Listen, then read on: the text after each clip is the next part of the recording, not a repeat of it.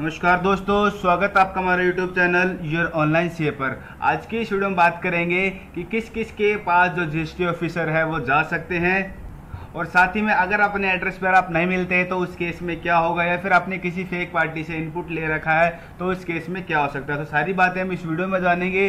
तो चलिए तो वीडियो शुरू करते हैं। वीडियो शुरू करने से पहले अगर आपने मेरे चैनल को सब्सक्राइब नहीं किया तो प्लीज़ चैनल को सब्सक्राइब करें और बेल आइकन को दबाना ना भूलें। तो सबसे पहले बात करते हैं उन जीएसटी टैक्स पेयर्स के बारे में जो ऑफिसर्स को जो है फेक लगते हैं फिक्टिशियस लगते हैं, उस केस में वो क्या कर सकते हैं? तो सबसे पहले यहाँ पर देख सकते हैं, यहाँ पर if after detail verification it is found that the tax payer is non accident and fictitious then the tax officer may immediately initiate action for suspension and cancellation अगर आप नॉन एग्जिस्टेंट हैं और फिक्सटिशियस पाए जाते हैं तो इस केस में क्या जो ऑफिसर वो क्या कर सकते हैं? आपके जेस्टिन को सस्पेंड कर सकते हैं और कैंसिल भी कर सकते हैं।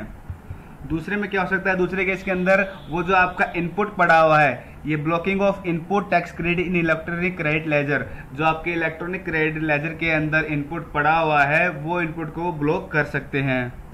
तीसरे में क्या कर सकते हैं? तीसरे केस के अंदर यहाँ पर वो जो आपने फॉर्म जीएसटी वन फ़ाइल करने आई जो सॉरी जो जीएसटी वन आपने फ़ाइल करी है, जिन पार्टी को आपने क्रेडिट दिया है, उन पार्टी को भी वो क्रेडिट ब्लॉक कर सकते हैं, वहाँ पे उनके पास जा सकते हैं, क्योंकि वो अपनी आपकी जीएसटी वन से उनकी डिटेल निकाल सकते हैं। अगर वो सेम जोडक्शन में पढ़ते हैं तो उन पर डायरेक्ट वो बात कर सकते हैं, या फिर उन पर वो, उनका भी नंबर सस्पेंड कर सकते हैं, उनका आईटीसी तो ब्लॉक कर सकते हैं वो। अगर दूसरे जुडिक्शन में है तो दूसरे जुडिक्शन पे ऑफिसर के पास वो डिटेल दे देंगे कि ये फेक पार्टी इस फेक पार्टी से इन्होंने आईटीसी जो है क्लेम किया हुआ है तो उस पर दूसरी पार्टी पर भी वेरिफिकेशन वहाँ पर हो सकती है।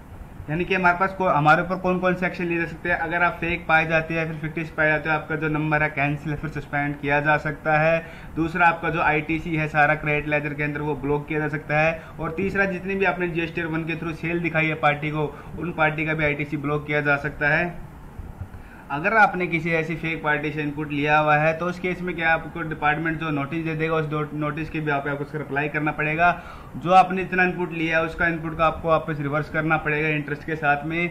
वो कैसे आपको पे करना होगा? डीआरसी ज़ीरो थ्री के थ्रू पे करना होगा। डीआरसी थ्रू ज़ीरो थ्री अगर किसी को फ़ाइल करना नहीं आता है तो उसके लिए मैंने अलग से डिटेल वीडियो बनाई हुई है। उसका लिंक मैं डिस्क्रिप्शन बॉक्स में डाल दूँगा।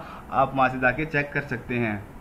जो जेनवन टैक्स पेयर्स है, उनको घबराने की कोई यहाँ पर बात नहीं है, क्योंकि उनको सिंपल से कुछ बेसिक चीज़ों का ध्यान रखना है, जैसे आपको अपना बोर्ड लगाना है, जो बिज़नेस का बोर्ड उस उसमें जीएसटी एड्रेस वगैरह आपकी डिटेल होनी चाहिए। साथ ही में आपके जो ऑफ़िस है एडिशनल प्लेस जो बिज़नेस उसके अंदर ऐड है, वहाँ पर भी आपका बोर्ड लगा होना चाहिए। जीएसटी की आरसी आपके पास होनी चाहिए सेल परचेज की जो बिल हैं, आपके सारे आपके पास पूरे होने चाहिए। तो कुछ बेसिक सी चीज़ों का आपको कंप्लाइंस को फॉलो करना है, ऐसी कोई घबराने की बात नहीं है इसके अंदर। ये उनके लिए मेनली है जो फेक रजिस्ट्रेशन जीएसटी के अंदर है, जो इनपुट यहाँ पर फेक तरीके से ट्रांसफ़र करते हैं। उनके लिए ज़्यादातर ये विजिटिंग हो रही है।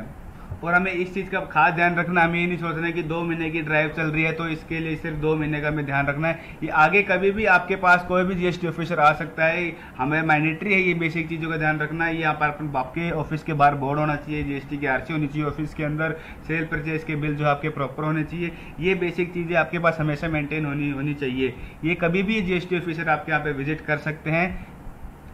अगर आपकी नेम प्लेट हो जो ऑफ़िस के आपके बाहर नहीं लगी तो उस केस में क्या आपके पास ऊपर पचास हज़ार तक पेनल्टी लग सकती है, पच्चीस हज़ार सी एस टी और पच्चीस हज़ार एच एस टी के आपके ऊपर पेनल्टी लग सकती है। और जैसा कि मैंने अपनी पहली वीडियो बताया आपको, अगर घर के नाम, घर के ऊपर आपका जीएसटी नंबर है, घर के एड्रेस पर तो इसमें भी ऐसी कोई घबराने की ज़रूरत नहीं क्योंकि जीएसटी में ऐसा कहीं नहीं लिखा है कि आप घर के एड्रेस पर जीएसटी नहीं ले सकते हैं। विजिटिंग आपकी वहाँ पर भी हो सकती है प्रॉपर कंप्लाइंस को आपको वहाँ पर भी फॉलो करना है तो बेसिक चीज़ों का आपको हर जगह पर आपको ध्यान रखना है। और साथ ही में आपको डिटेल में जानना है कि जीएसटी नंबर लेने के बाद में आपको कौन कौन से कंप्लाइंस जो फॉलो करने होते हैं, इसके लिए मैंने अलग से डिटेल वीडियो बनाई हुई है। काफ़ी पहले ही मैंने वीडियो बनाई दी गई थी नोटिस तो उसके लिए आपको जानना है तो उसका भी लिंक मैं डिस्क्रिप्शन बॉक्स में डाल दूँगा। और साथ ही में आपका जीएसटी से रिलेटेड कोई भी क्वेश्चन है तो उसके लिए मैंने अलग से सारी की सारी जीएसटी टॉपिक्स पे वीडियो बनाई हुई है। आप मेरे चैनल पर जाके विज़िट कर सकते हैं। और इस वीडियो से रिलेटेड आपको कोई भी क्वेश्चन का हमें कमेंट डाउन कर सकते हैं। और ये वीडियो आपको अच्छी लगी तो प्लीज़ वीडियो को लाइक करें चैनल को सब्सक्राइब करें। Thank you